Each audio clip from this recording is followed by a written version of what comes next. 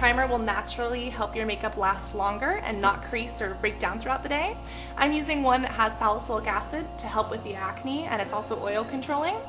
Once the primer is set, I like to go in with a concealer. Some people like to do their concealer over foundation, um, but because for me I have a very difficult skin tone, I like to put my concealer under just to make sure that my color is perfectly matched. So I'm going to actually be using the cream here, and the way I use it is I just take a little bit out and I actually warm it up on my hands this kind of helps to um, make it a very workable texture and it helps it kind of layer and build onto the skin where I need the coverage most. When it comes to concealer, some people do like to use a brush. I personally prefer to use my hands. The next of concealer that I'm going to use is the Smooth Indulgence Under Eye Concealer.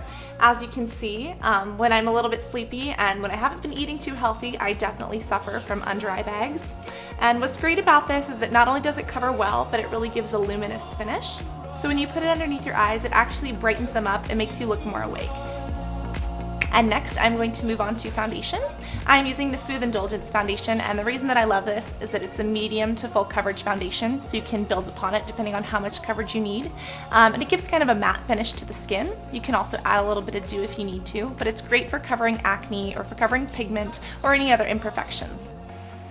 So there's nothing worse than finishing your foundation and trying to move on to blusher, you know, a little bit of contour and realizing that your blush and contour are removing the foundation that you've just worked so hard to apply. So what I like to use is a setting powder. This is a setting powder that literally makes your makeup last all day and all night long. So what I'm gonna do is just take this on a very big fluffy brush and ever so lightly tap this on. And then after I've tapped a full application, I can go in and just very, very lightly buff.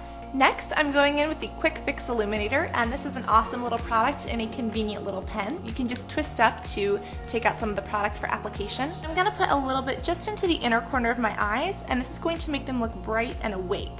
Since this is a light color, it's going to extend my eyes um, so that it really makes them pop and glow and just really shows off your natural eye color. I'm also going to use this a little bit on the outer side of my eyes. Next, we all want those beautiful sculpted cheekbones, so I'm just going to dispense a little bit of product and apply this right where I would apply a cheek highlighter.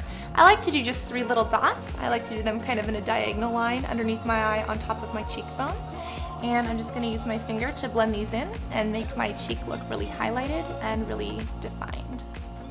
And we can also apply some to our lips to make them look poutier and a little bit fuller. Next, you can go ahead and apply your eyes or apply any blush or contour that you want and you can be on your way.